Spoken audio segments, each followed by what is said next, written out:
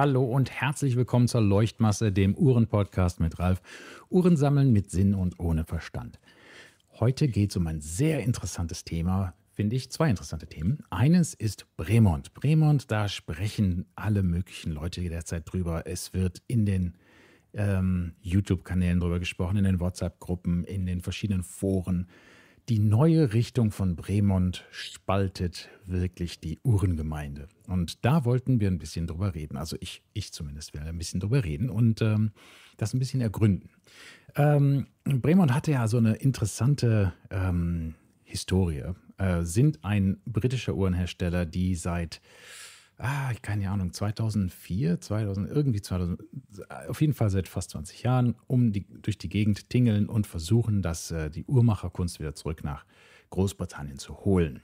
Ähm, die machten in ihren besten Jahren bis zu 28 Millionen Pfund Umsatz. Das ist jetzt auf, wenn man sich die großen Uhrenhersteller anschaut, nicht sonderlich viel, ist ähm, keine besonders große Uhren. Marke in dem Sinne.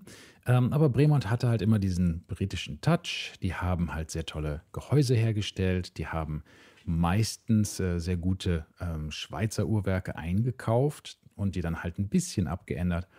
Ähm, hatten also ihre Kontroversen, was man jetzt nun Inhouse nennt und was wenn wirklich Inhouse war. Da gab es die ein oder zwei Bubus, die kleinen äh, Missgeschicke, würde ich jetzt mal sagen, oder andere würden sagen, bewusst gelogen. ja, also da haben sie sich nicht mit Ruhm bekleckert, sagen wir es mal so leicht ähm, positiv.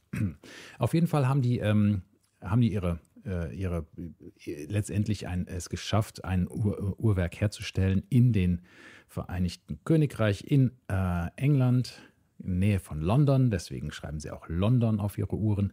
Ähm, sind da im Großraum London, nicht direkt in London, aber na gut, sei es drum. Wir haben ihr großes ihr Hauptquartier im The Wing, ähm, ein der Flügel. Das ist äh, äh, ein sehr interessant geformtes Gebäude, wo die Produktion stattfindet und das Hauptquartier der, der Marke ist. Ähm, und ähm, dreimal kann man raten, wie es aussieht. Es sieht aus wie ein Flügel. naja, auf jeden Fall ist ja da die, die, die Nähe zur ähm, Luftfahrt ja, und Aeronautik ja bekannt bei Bre äh, Bremont. Gibt ja diese Origin Story, dass die Brü beiden Brüder Nick und Gilles English äh, mit ihrem Kleinflieger über den französischen, über den französischen ähm, ja, äh, Ländereien irgendwo abgestürzt sind und zwar in dem Feld von einem Herrn Mr. Bremont gelandet sind oder Bremont äh, und denn deswegen haben sie ihre Uhrenmarke, weil er sie so nett behandelt hat. Und äh, ja, die haben das Flugzeug da crash gelandet und sind dann äh, von ihm dann aufgenommen worden nach ihrem Unglück. Und äh, der sagte, deswegen nennen sie diese Uhrenmarke in, für ihn, für diesen Farmer, äh, diesen Bauern, der sie da aufgenommen hat, halt Bremont. Ob das jetzt alles so stimmt, wer weiß es. Auf jeden Fall, wie gesagt, hatten sie ihre eigenen Kontroversen, aber sie hatten halt eine relativ äh, erfolgreiche, in Anführungszeichen, Uhrenmarke auf den Weg gebracht. Äh, haben die Geld gemacht? Haben die Profit gemacht mit dieser Uhrenmarke? Nein. Anscheinend war da eine reiche griechische Familie dahinter, denen auch Folli Folli gehörte und andere ähm, Juweliersachen. Ähm, da ist immer Geld verloren gegangen bei Bremont. Man hat, äh, glaube ich, nur ein oder zweimal in der Geschichte ein bisschen Profit gemacht. Ansonsten wurde da immer Verluste gemacht mit verschiedenen Hintergründen. Man hat ja auch zum Teil halt eine, eine Formel 1 äh, Sponsorship. Dann hatten wir da äh, eine Zeit lang, äh, fragt man sich auch, wie, ja, wahnsinnig äh, sinnvoll das war. Aber na gut, man hat viele, viele Sachen versucht. Auf jeden Fall hat dann jetzt letztendlich ein äh, sogenannter Herr Bill Ackmann dann ähm, es auf sich genommen und 55 Millionen Pfund oder sowas investiert. Der Bill Ackmann ist ein äh, Milliardär aus den USA, der auch einen Investmentfonds betreibt und dort halt äh, in Firmen investiert. Das ist allerdings sein privates Investment und nicht über seinen Fond, äh, gelaufen. Mal sehen. Also er hat dann wohl anscheinend gesagt, ich will, dass sich die Richtung ändert. Wir wollen Bremont ähm, quasi in eine zweite Breitling-Marke umwandeln. Wir wollen da also ähm, mehr Profitabilität rausholen. Bre äh, Breitling hat ja zum ersten Mal, jetzt glaube ich, drei Milliarden Umsatz äh, über, überstiegen, im ersten Mal in seiner Geschichte. Ähm, also denen geht es sehr, sehr gut. Und letztendlich wollen sie diese Erfolgsgeschichte von, von, von Breitling ähm, nochmal neu erzählen mit Bremont als englische Firma. Prima. Ähm, ich wünsche Ihnen viel Glück. Und dafür hat er dann also mehr oder weniger die beiden ähm, Gründer der Firma, also Nick und Giles English, die sind jetzt in den irgendwo noch im Beratungs- oder im Vorstand noch irgendwo vertreten mit einer Minderheitsbeteiligung, bla bla bla. Aber wirklich die, ähm, die äh, Entscheidungshoheit hat jetzt Davide Cerato, ähm, der ist jetzt der CEO der Company und der hat vorher bei Tudor die Black Bay-Linie äh, wieder neu ins Leben gerufen.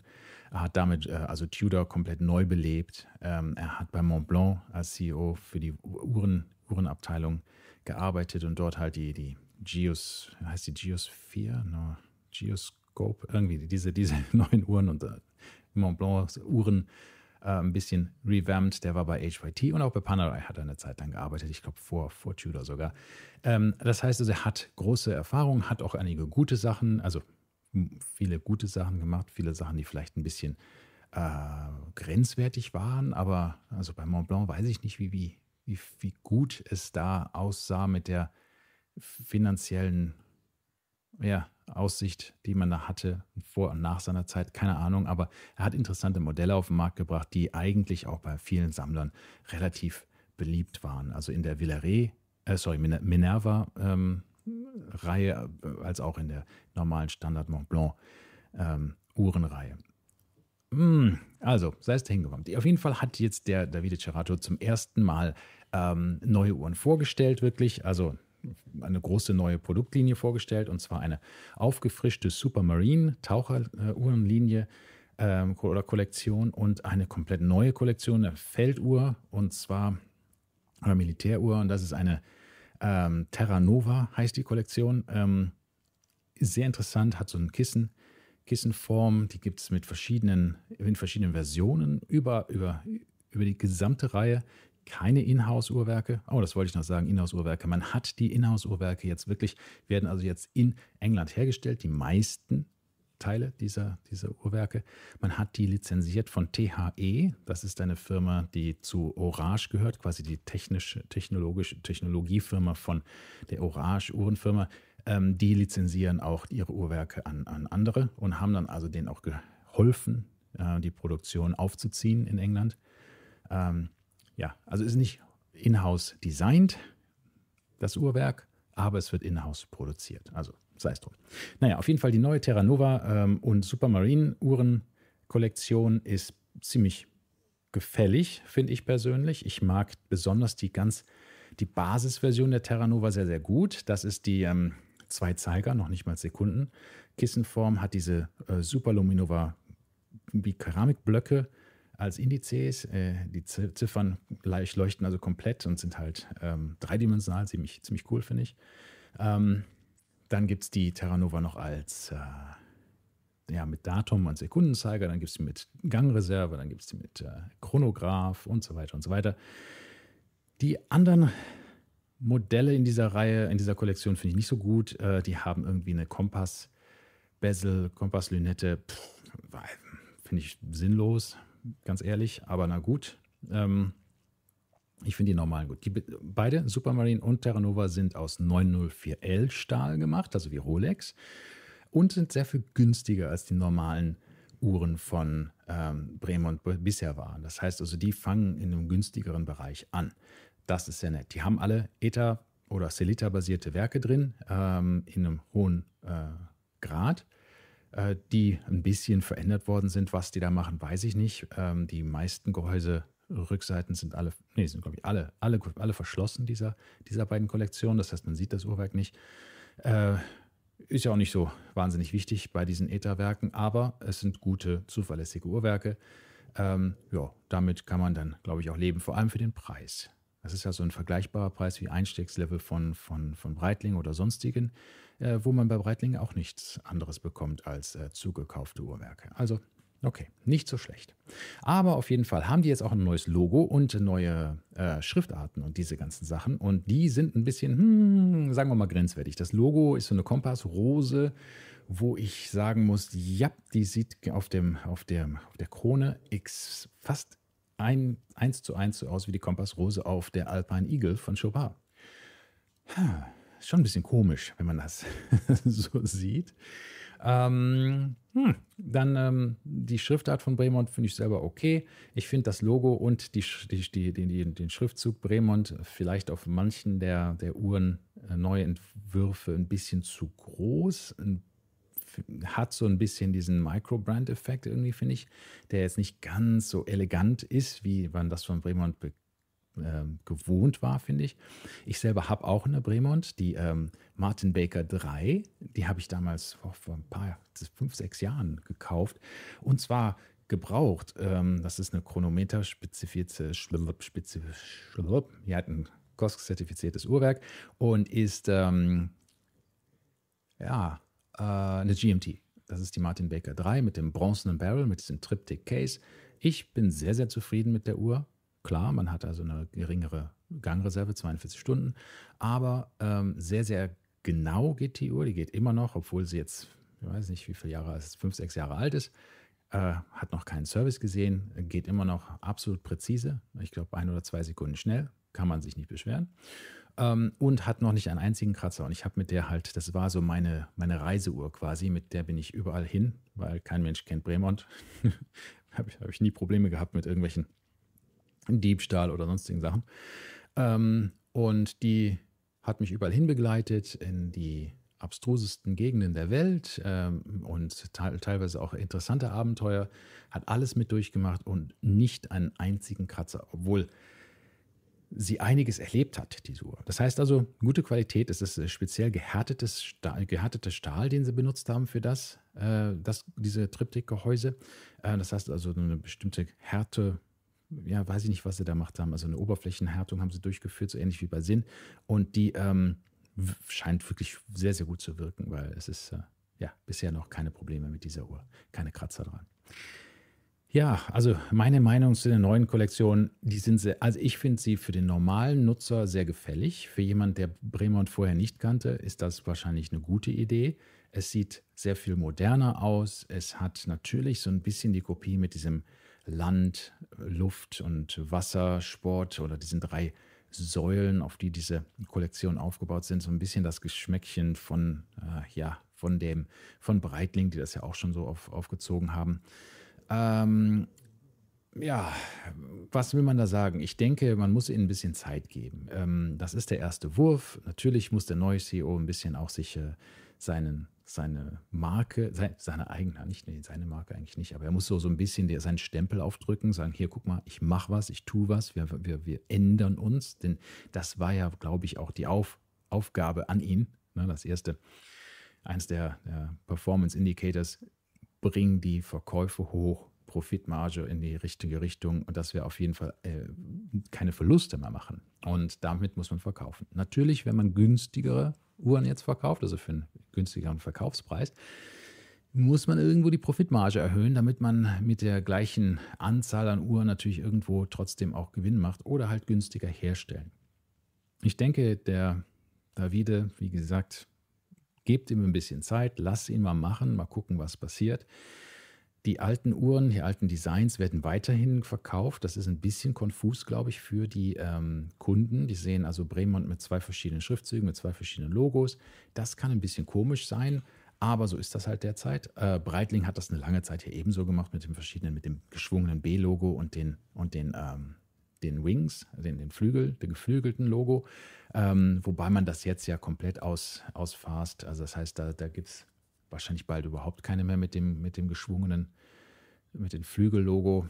Noch die professionelle Reihe, die Professional Line hat das noch, aber wer weiß, wie lange noch.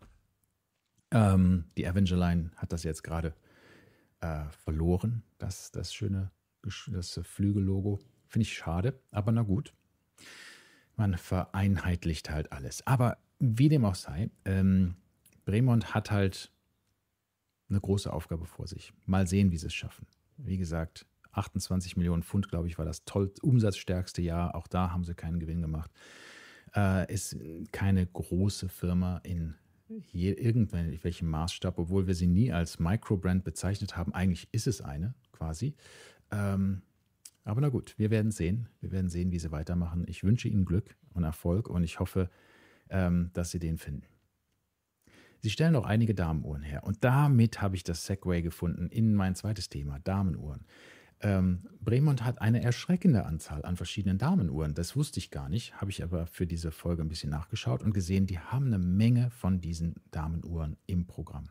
Und die haben damals ja auch viele dieser Uhren gemacht, die ja ein Stück Säge, keine Ahnung, ein Stück Plane von einem alten Flugzeug oder irgendwas hatten. Und die haben jetzt immer noch eine auf ihrer Webseite, wo sie ein Stück des Veneers von ähm, Stephen Hawkings Schreibtisch im Rotor haben. So ein kleines Stückchen Holz oder ja, Holzbeschichtung, das dann im Rotor ist. Und da gibt es, glaube ich, 88 Stück von, von diesem Modell, auch für Damen, die dann ein Stück von Stephen Hawkings Original Schreibtisch in ihrer Uhr haben.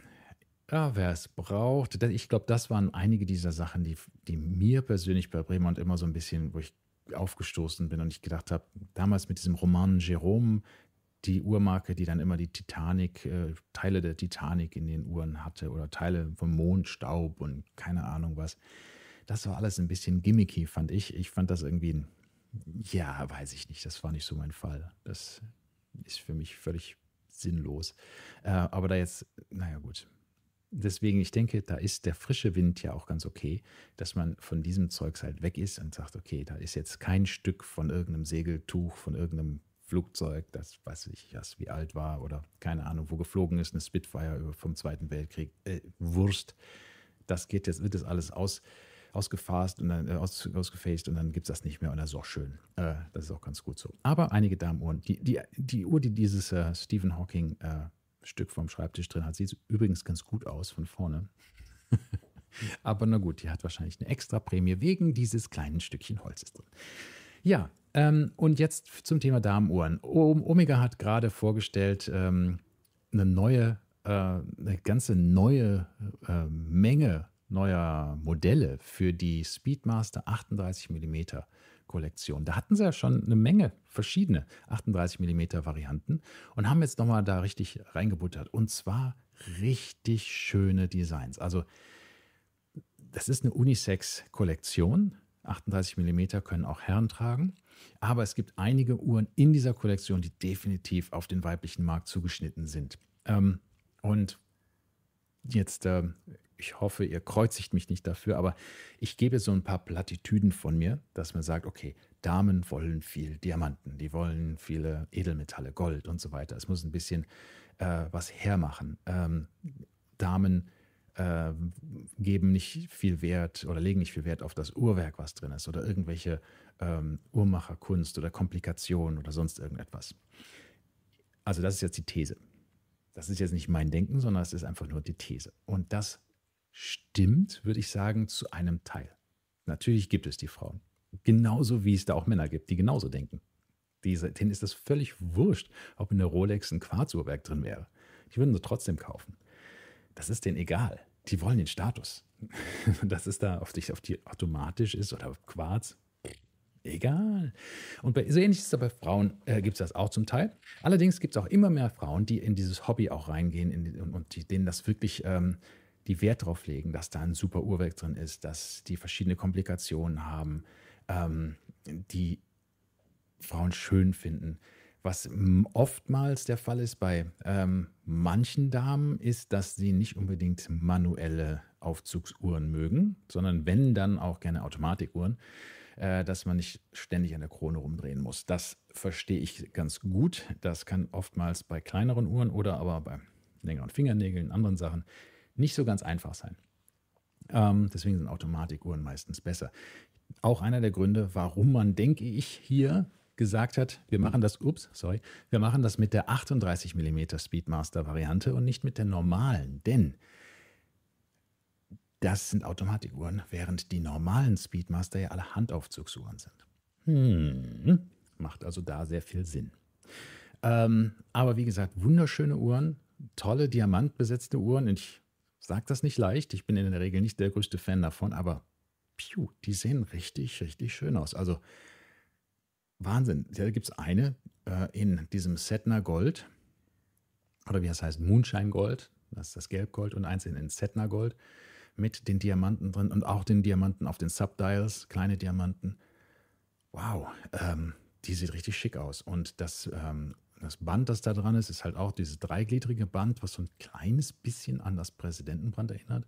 Äh, also das heißt, hat fünf Glieder, aber diese zwei Glieder in der Mitte sind ganz, ganz klein. Ähm, ich finde, das sieht sehr, sehr schick aus. Ähm, wir sehen ja sehr viele Damen. Rolex hat ja letztens ja auch wieder neue äh, Daytonas auf den Markt gebracht, die ganz klar an die Damenwelt orientiert sind mit dem Diamanten drauf und diesem Design, den sie hatten. Das ist schon derzeit äh, auch eine, eine, die Daytona ist eine Uhr, die sehr gerne von Damen getragen wird. Und deswegen, ja, macht das Omega ebenso. Und ähm, das, denke ich, ist eine, eine gute Idee. Das sind Unisex-Uhren, die können Damen und Herren beidseitig tragen, die Kollektion. Allerdings gibt es da einige Modelle, die eher auf die Damen oder die Herren abgezielt sind. Ähm, ja, und wie gesagt, vor allem die grünen, mit dem grünen Lederband oder der grünen Lünette oder der grünen Dial, die haben eine ganz, ganz tolle ähm, Ganz, ganz tolle Ausstrahlung, finde ich persönlich. Die sind richtig schick. Sind die teuer? Oh ja.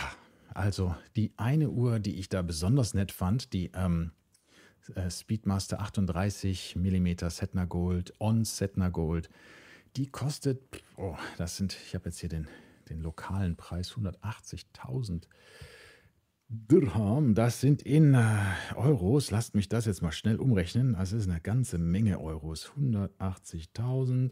Das sind natürlich bei uns dann ähm, noch äh, nur 5% Mehrwertsteuer. Das wären in Europa dann noch ein bisschen mehr, aber das sind 45.000 Euro. Ja, okay. Viele Diamanten drin, noch eine Menge Gold, aber trotzdem ein sehr stolzer Preis. Aber sieht schick aus. Also ist eine gute Alternative für eine vollgoldene Daytona mit Diamanten oder eine Day-Date mit Diamanten, hm, da kann man schon mal überlegen. Ne? Also gut, es ist eine Omega, also wenn man damit leben kann, schick. Und wahrscheinlich bekommt man die Uhr natürlich, wenn man sie gebraucht kauft, ein bisschen günstiger als diesen Preis. Ja, aber so generell finde ich jetzt derzeit ähm, haben Damen das absolut größte Los in der Uhrengeschichte gezogen. Denn wenn man heute ein Uhrenfan ist, als, als in, in der weiblichen Population, hat man nicht nur die komplette Herrenurauswahl, sondern auch die komplette Damenurauswahl. Das heißt, will man etwas, etwas mehr feminin mit Quarzuhrwerken und was weiß ich was, kann man haben. AP hat ja auch mal eine neue Royal Oak vorgestellt für die Damen und Quarzuhrwerk reingebaut. Bumm. Ja. Also das gibt es auch noch. Bei Audemars PG kann man auch noch Uhren Royal Oaks mit Quarzuhrwerk kaufen. So ist das. Ähm, wenn man das nicht will, können die Damen, was sie ja jetzt schon machen mit der Daytona und den anderen Uhren, allerdings, muss ich dazu sagen, ja, Daytona, Rolex hat eine Menge verschiedene Uhren, die man auch gerne bei Damen sieht, die keine speziellen Damenuhren sind.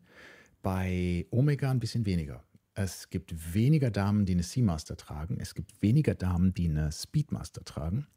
Ähm, Aquaterra, andere Frage. Und natürlich die Constellation-Reihe ist mehr auf die Damenwelt zugeschnitten als die Herrenwelt. Aber das ist so ein bisschen anders. Aber ich denke, das liegt zum Teil halt auch darauf, manueller Aufzug und diese ganzen Sachen.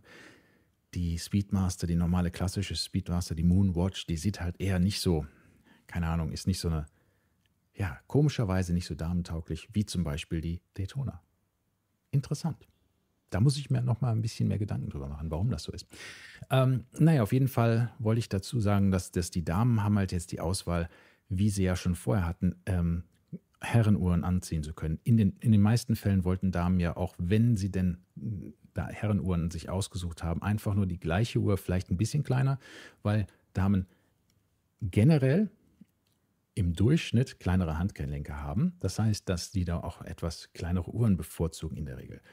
Ist aber auch nicht der, derzeit sowieso nicht der Fall. Da hat den Damen ja auch größere Uhren ähm, tragen gerne. wo bei den Herren ja der Trend wieder zu kleineren Uhren geht, geht er bei Damen immer noch in, von der kleinen Damengröße auf die größeren Uhren rüber. Also das heißt, da ist es völlig okay, größere Uhren zu tragen. Das heißt, man hat jetzt die volle Auswahl. Damenuhren, Herrenuhren, alles. The world is your oyster. Liebe Damen, kauft, was ihr wollt. Ähm, es ist nur die Größe, die Uhr, die, Uhr, die entscheid, in, in, in, entscheidet, äh, ob ihr sie gerne tragen wollt oder nicht. Äh, wenn das Design euch gefällt, pff, haut rein. Ähm, es ist eine super Zeit derzeit als weiblicher Uhrenfan, denn hier hat man eine irre Auswahl. Man kann sich von ähm, wirklich allen Uhren was aussuchen. Und da jetzt die Herrenuhren ja tendenziell auch wieder kleiner werden, ähm, im Großen und Ganzen, ist das ja nochmal noch mal besser. Das heißt, man muss noch nicht mehr auf eine kleinere Version der Uhr warten. Und das finde ich ganz gut bei Breitling. Die haben ja sehr oft verschiedene Uhren auf, äh, auf dem Markt, die sie dann in, in wirklich sehr, sehr vielen verschiedenen Größen anbieten. Die Super Ocean, die glaube ich, gibt es in 46, 44, 42, 38, 36, keine Ahnung, die gibt es auch in so vielen verschiedenen Größen. Das finde ich gut. Das, äh, da, da, dann findet jeder irgendetwas. Ob das jetzt äh, ein Herr ist, der eine 36er haben möchte, mit einem kleineren Handgelenk, was völlig okay ist, sieht in, an den meisten Handgelenken super aus. An, an ja, es sei denn, man hat wirklich, wirklich große Handgelenke. Ähm, super Sachen. Also deswegen finde ich das schön, dass sich das jetzt so weit erledigt hat, quasi in der, in der Damen- und Herren-Unterscheidung, dass jetzt die Damen wirklich von der von der Situation, die wir noch vor ein paar Jahren hatten, dass alles, was Damenuhren waren, war immer so, okay, das sind die Uhren mit den vielen Diamanten, mit den Perlmutt, ähm, Ziffernblättern und so weiter und so weiter, mit den Diamanten drauf und dem Edelmetall und so weiter. Das hat sich jetzt erledigt. Das ist jetzt nicht mehr ganz so, ganz so der Fall. Es gibt tolle sportliche Uhren und generell einfach nur ähm, etwas kleinere Uhren, die auch an beide Handgelenke passen. Herren wie Damen. Also das heißt, die Damen haben jetzt die beste Auswahl, die sie jemals hatten in der Uhrenwelt.